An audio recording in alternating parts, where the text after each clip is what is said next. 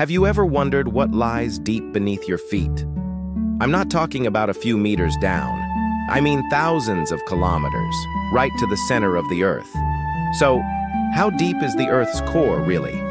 Our planet is layered like an onion. We live on the crust, which is up to 35 kilometers thick. Below that is the mantle, stretching down almost 2,900 kilometers. And then, we hit the core.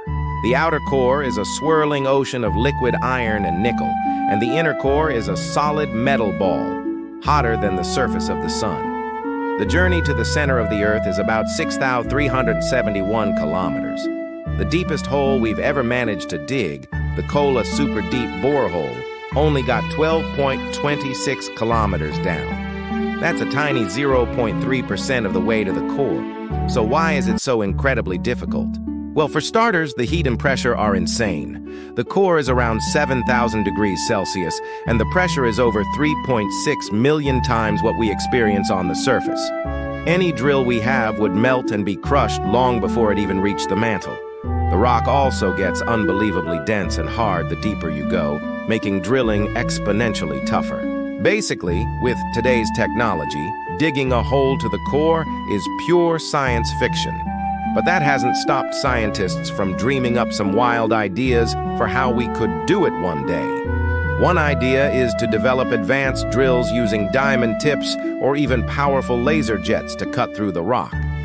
Some companies are even experimenting with plasma boring, using superheated gas to vaporize rock. Their goal is to reach 20 kilometers for geothermal energy, which is still a far cry from the core, but a massive leap forward. Other more futuristic concepts imagine using natural openings like mantle plumes, the volcanic hotspots that formed places like Hawaii as a shortcut.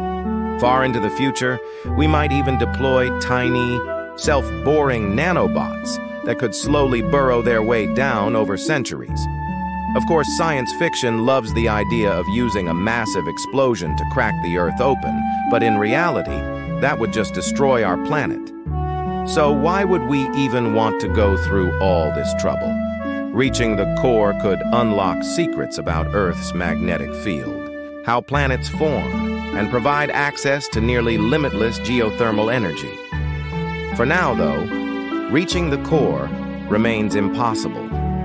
We study it indirectly using seismic waves from earthquakes, which gives us a surprisingly clear picture of the world beneath our world it's a journey we can only take with our imagination, for now.